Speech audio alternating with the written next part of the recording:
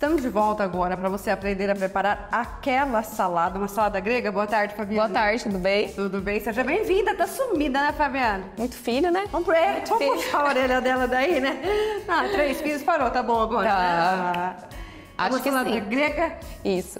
A salada grega, na verdade, é uma salada com os ingredientes comuns da dieta, que geralmente a gente tem em casa, e a gente mistura e fica muito bom. Então é uma salada prática para desmistificar um pouco aquela coisa de que comer só tomate, pepino, tatatá é chato. Não, é muito gostoso, é prático, é saudável e é barato. Papel e caneta na mão, porque agora você está no nosso quadro Comer Bem.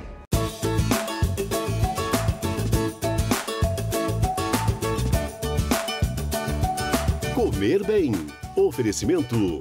Supermercados Estrela, onde quem brilha é você. E Centro Especializado Endogastro, em Presidente Prudente. Então vamos lá. Pode começar? Vamos lá. E os ingredientes, então? Bom, nós vamos usar 100 gramas de ricota, é, a pimenta do rei a gosto, uma colher de sopa de mostarda, coloquei aqui uma, também um pouquinho de orégano, mas você coloca a quantidade que você quiser, um limão espremido, uma colher de sopa de azeite extra virgem, sal a gosto. O meu sal em casa ele é sal com limão. Vocês vão achar um potinho, mas você pode usar sal normal.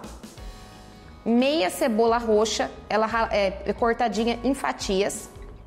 Três tomates cortados, azeitona, um, um daquele lá de azeitona, só que aí você tira, escorre a água, lava. Um pepino cortado da mesma forma, que salada tem que ser bonita também, tá, gente? Sim. Então vamos lá. Começar pelo pepino, tomatinho, cebola roxa, azeitona, colocar o queijinho, a ricota. Vou começar com o limão, o meu sal azul, o azeite, orégano, pimentinha do reino e a mostarda. E mexer bem, né? Pra que pegue. Pegue bem, principalmente porque a ricota é um queijo sem. Ele não tem, né? Ela, ela é bem sem gordura nenhuma, tanto é que é bem branco, né? O queijo, quanto mais branco, menos gordurinha tem.